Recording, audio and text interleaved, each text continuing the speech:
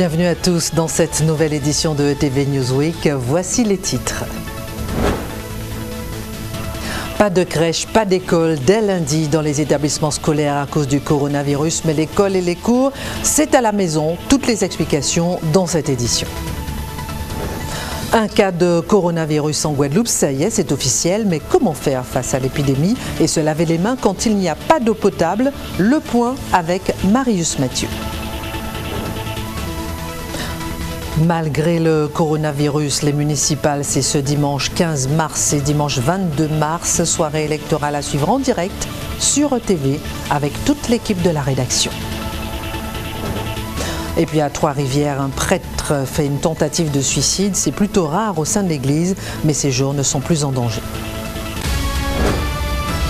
On commence avec le point sur le coronavirus et ses conséquences avant tout dès ce lundi. Et pour au moins 15 jours, crèches, écoles, collèges, lycées, universités sont fermés. Mais attention, les cours devront avoir lieu à la maison. Le ministre de l'Éducation nationale insiste tout un système est mis en place pour que les enfants ne restent pas en dehors du système scolaire avec un enseignement à distance qui est mis en place. Reportage, explication, Constantin Pelletier. À partir de lundi, ces élèves du collège Aurélie Lambourde devront changer de méthode pour travailler. Une plateforme appelée Ma classe à la maison permettra à chaque élève de se connecter à son propre compte. Là, on était en train d'interagir avec notre professeur qui nous donnait des. On faisait un exercice avec lui, parce que c'est comme ça qu'on va travailler pendant pendant le temps qu'on n'ira pas à l'école. Euh, personnellement, je suis assez autonome, mais certains de mes camarades ne sont pas comme moi, donc j'imagine que ce sera dur pour une partie. Ce service de classe virtuelle mis en place par l'Académie de Guadeloupe va maintenir le lien entre l'élève, ses camarades et ses professeurs. Il sera accessible aux élèves de la grande section jusqu'à la terminale. On va continuer à travailler, on travaillera autrement. Euh, ce que euh, le président de la République a souhaité, c'est que les élèves ne soient pas accueillis dans nos établissements scolaires tout simplement parce qu'ils sont vecteurs de propagation du virus. Et donc, c'est eux qui doivent euh, rester chez eux. Mais nous devons nous occuper d'eux, nous devons assurer la continuité pédagogique, la continuité administrative. Pour celles et ceux qui n'ont pas Internet ou qui ont une mauvaise connexion, les parents devront se rendre dans les établissements pour récupérer les cours de leurs enfants.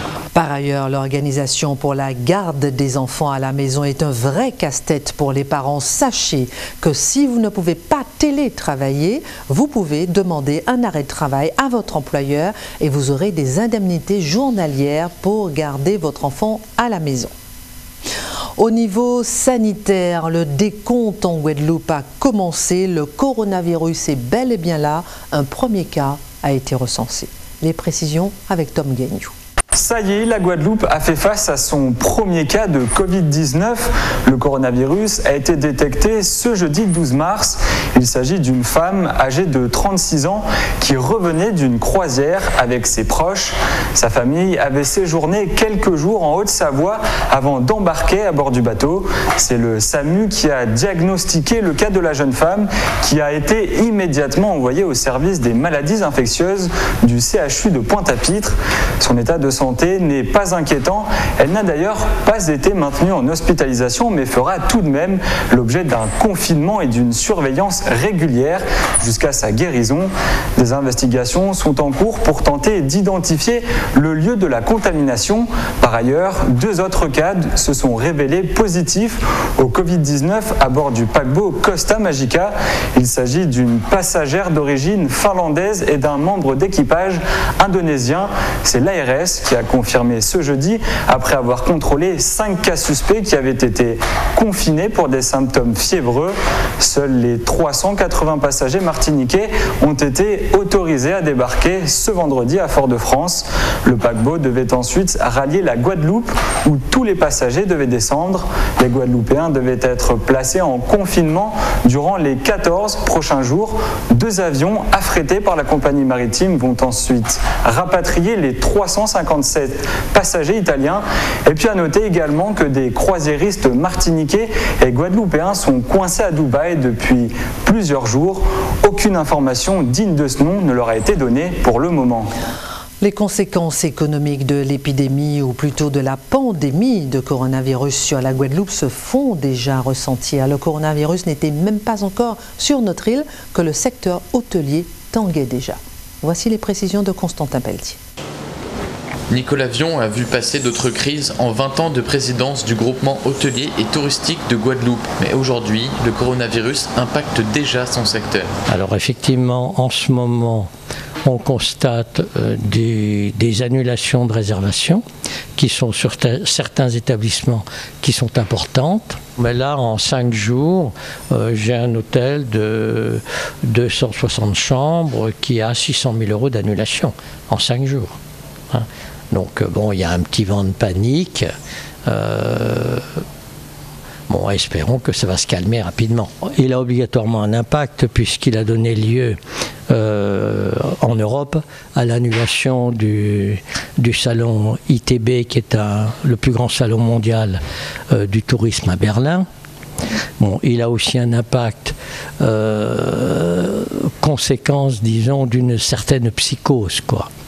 Euh, parce que euh, les gens sont inquiets, donc euh, quand règne de l'inquiétude, bah, les gens ont moins tendance à penser au plaisir. Hein. C'est un fait, des touristes annulent leurs vacances à l'étranger et pour ne pas que la situation s'aggrave, Nicolas Vion appelle à garder son calme. Il y a eu dans le passé la grippe, le SRAS, etc et que le coronavirus, ben, c'est un épisode de plus, c'est une épreuve de plus que, que vit le monde touristique. Mais euh, si on regarde les choses raisonnablement et avec lucidité, ben, on va s'apercevoir très vite qu'il faut relativiser les choses. Euh, les contaminations, fort heureusement, sont en nombre limité dans nos destinations. Ben, moi, j'engage les clients à ne pas paniquer et à venir nous rendre visite à, prendre contact avec euh, nos sites merveilleux, notre gastronomie euh, passionnante. Voilà, il ne faut pas paniquer. Et rappelons les mots du chef de l'État, quoi qu'il en coûte, il l'a dit trois fois, il fera tout pour soutenir l'emploi et l'économie dans cette crise.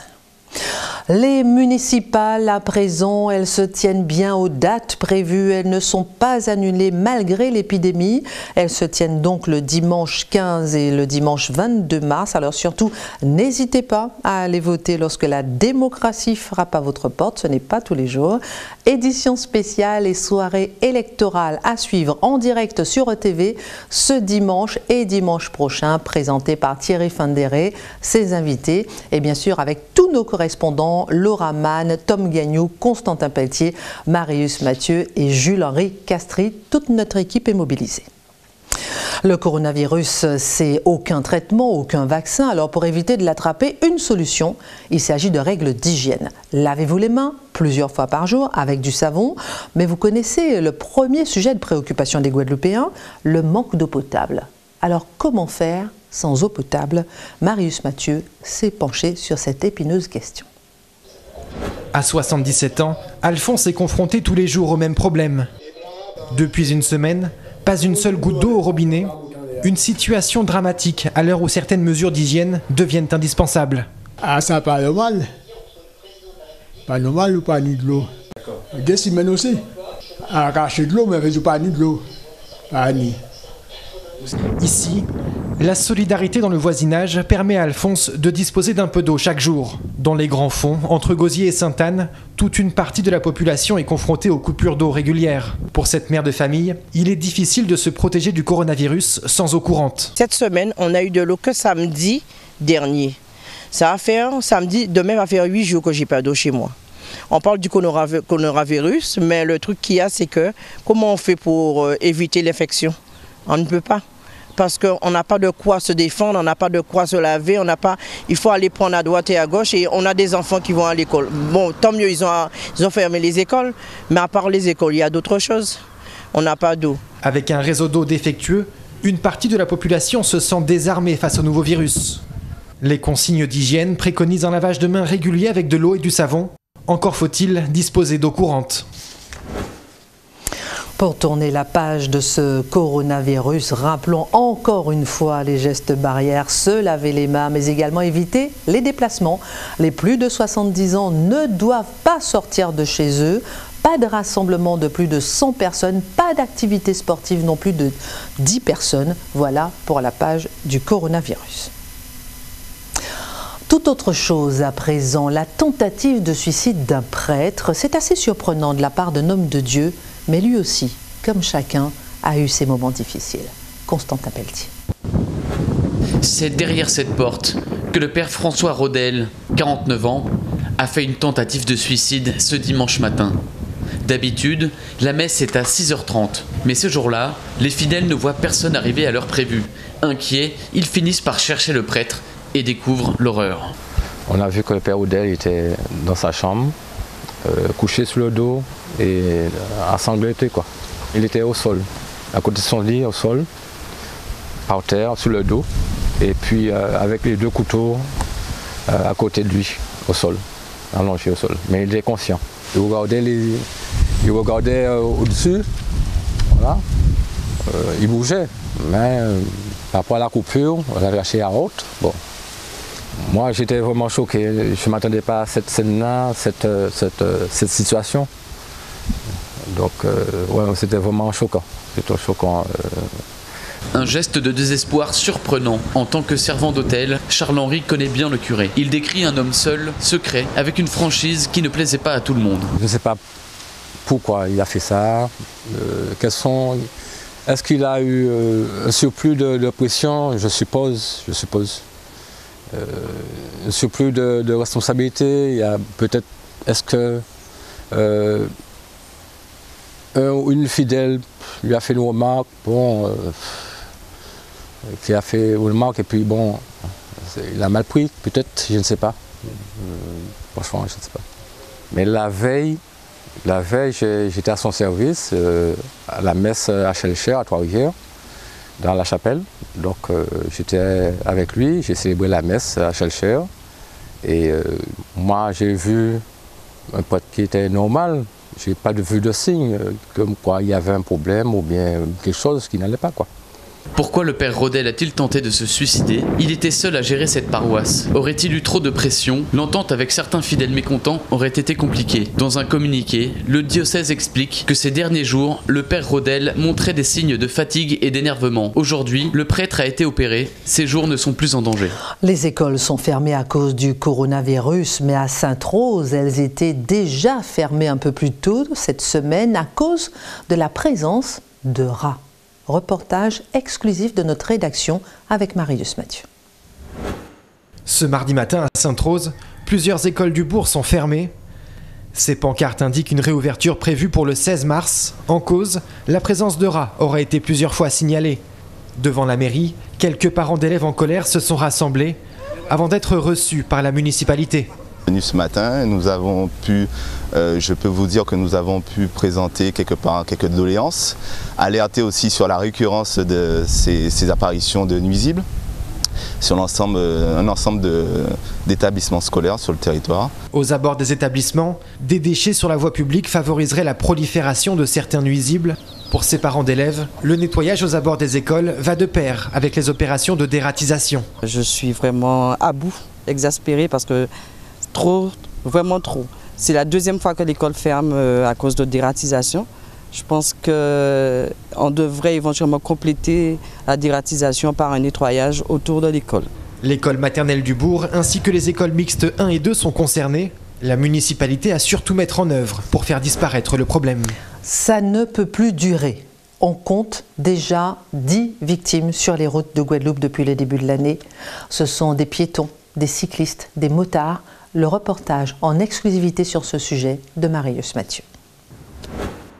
Depuis le début de l'année sur les routes de Guadeloupe, 10 victimes sont à déplorer. Parmi elles, 3 piétons, 3 motards et 2 cyclistes. Autrement dit, 8 usagers vulnérables sur 10 victimes. Les campagnes de sécurité routière sur le territoire ne cessent d'appeler les usagers à la vigilance, notamment la nuit. Les conseils qu'on pourrait donner aux piétons et aux cyclistes, eh bien, on va le marteler encore. Il faut s'assurer d'être visible sur le bord de la route.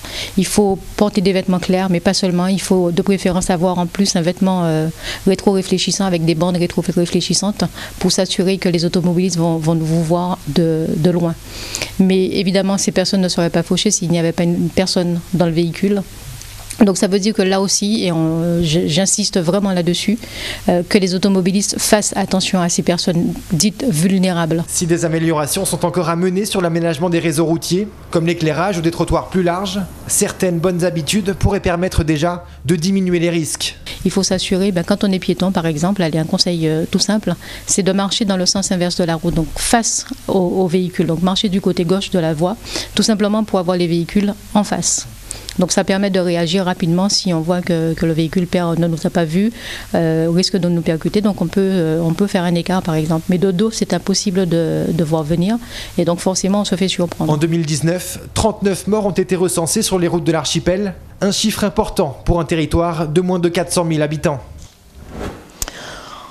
Il fut un temps où l'on reprochait à la police de rester inactive en Guadeloupe, d'éviter les quartiers sensibles. Force est de constater que les choses ont changé. Illustration avec cette vaste opération de la police dans un quartier sensible de Pointe-à-Pitre. Tom Guignou. C'est l'heure du briefing. La police nationale de Guadeloupe s'apprête à mener une vaste opération de contrôle dans un quartier réputé sensible à Pointe-à-Pitre. L'objectif de cette manœuvre, circonscrire la criminalité et marquer la présence policière en milieu sensible. Pour cette opération dite 78-2 dans le jargon policier, plus d'une vingtaine d'hommes étaient mobilisés. Ça s'est passé ce mardi en début de soirée. Ces opérations sont menées au regard de l'analyse que nous faisons de la délinquance. Euh, parfois, certains contrôles ne mènent à la découverte euh, d'aucune infraction, d'aucun produit stupéfiant. Parfois, nous procédons à, à, des interpellations, à des découvertes. Mais en tout cas, il est important, tant en termes de prévention que de dissuasion et de répression, que ces opérations soient régulièrement marquées, que la population voit euh, l'engagement des services de police et que nous soyons là où il est nécessaire que nous endiguions le développement de la délinquance. Après un dernier point, les policiers embarquent à bord des véhicules. Plusieurs brigades sont mobilisées. BAC, CDI, BST. C'est la BAC qui ouvre la voie. En arrivant sur place, l'effet de surprise est primordial. Il faut faire vite. Les premiers individus sont rapidement immobilisés et des contrôles sont opérés. Notre caméra n'est d'ailleurs pas la bienvenue. Les hommes de la BAC calment la situation et continuent les palpations. En même temps, la zone est scrupuleusement fouillée par d'autres policiers.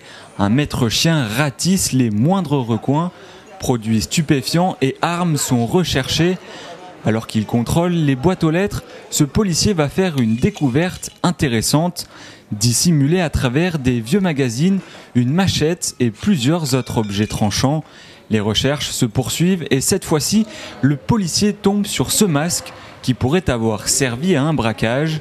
L'identité de chaque individu est vérifiée, les esprits se calment, aucune infraction majeure n'est à déplorer pour ce soir. Ils sont toujours au même nombre, à peu près une dizaine à cet endroit-là. Ils écoutent de la musique, ils boivent quelques bières, mais rien de bien transcendant. Ils ont l'habitude, ils ont leur pièce d'identité sur eux, ils ne font pas l'objet de recherche actuellement. Donc le contrôle s'est bien passé, il n'y a rien de bien particulier pour ce soir. Ces opérations d'envergure ont un impact non négligeable de dissuasion auprès des malfrats.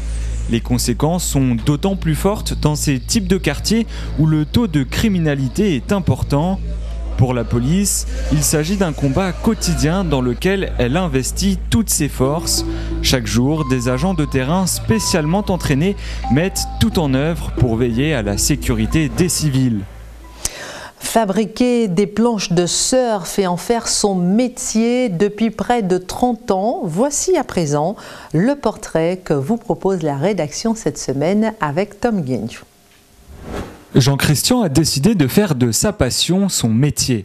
Artisan shaper, il fabrique des planches de surf depuis 27 ans, un travail manuel qui demande beaucoup de patience puisque pour avoir une bonne planche, il faut compter deux semaines. L'artisan met du cœur à l'ouvrage. Pour lui, une planche doit être parfaitement équilibrée. Il y a plusieurs étapes à respecter. Ça commence par l'affûtage des lignes. En fait, je suis en train de dégrossir la carène. C'est comme le, pain de mousse est un peu épais. Il faut que je la mette à la mesure, tu vois, au millimètre par rapport au centre. Donc j'essaie de le dégrossir en parallèle, chaque côté. Et ensuite, je vais, je vais le poncer de manière à ce qu'il soit vraiment lisse et atteindre euh, une dimension légèrement supérieure parce qu'il faudra que j'attaque un peu le pont aussi pour que ça soit aussi propre qu'en dessous pour commencer. Et après ensuite, euh, je verrai par rapport aux dimensions et j'installerai le patron, c'est-à-dire le template pour découper les tours. Mais d'abord, je m'occupe de la carène. L'atelier de Jean-Christian est un véritable paradis pour les surfeurs. On y trouve toutes sortes de planches, en mousse ou en résine, grandes ou petites. Sa marque de fabrique, X-Ray, des planches de tout niveau spécialement conçues pour les vagues guadeloupéennes. C'est surtout la forme du pain de mousse qui compte dès le départ. Tu vois, sa densité et sa forme pour euh, limiter le travail et la pollution, dépenses d'énergie et de matériaux. Tu es obligé d'avoir quelque chose euh, avec une géométrie viable, tu vois, pour pouvoir œuvrer décemment. Euh, c'est cette différence-là. C'est pour ça qu'on est là pour fabriquer des planches avec une certaine mesure à certains endroits de la planche pour qu'elles soient plus fonctionnelles qu'elles soient par rapport à d'autres matériaux qui sont juste pour commencer à évoluer. Allez, direction le spot de Damancourt au Moule. C'est parti pour une petite session de surf. Jean-Christian enchaîne les vagues. Ah, c'est beau la Guadeloupe. Voilà, c'est la fin de cette édition de ETV Newsweek. Merci à toute la rédaction qui m'a aidé à la préparer. N'oubliez pas, lavez-vous les mains en espérant évidemment que vous ayez de l'eau. Excellente semaine à tous.